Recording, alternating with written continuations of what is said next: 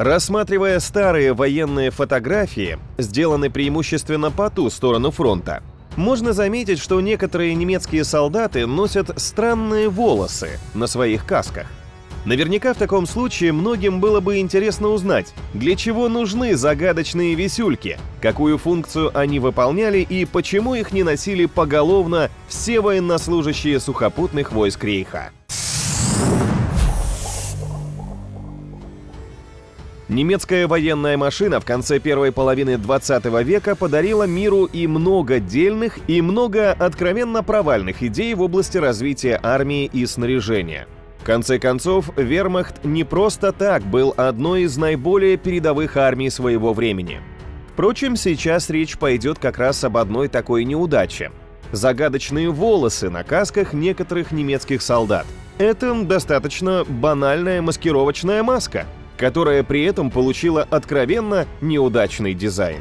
Появилась данная маска еще в 1936 году. 1938 была выпущена и испытана первая партия лицевого камуфляжа, который выпускался вместе с пехотными плащ-палатками и мог быть одной из трех расцветок. Испытания прошли неудачно. Маскировочная сетка-маска постоянно мешала. Немецкие солдаты старались снимать маски перед боем или, по крайней мере, просто переворачивали каску задом наперед до тех пор, пока ситуация не становилась экстремальной.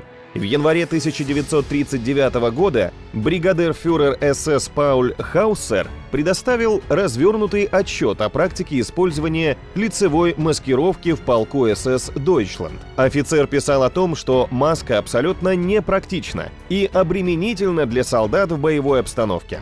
В итоге командование решило снять данный вид маскировки с производства. Однако от идеи ее применения не отказались. Первые маскировочные сетки в вермахте применялись вплоть до 1942 года, пока в войсках оставался достаточный запас данного снаряжения.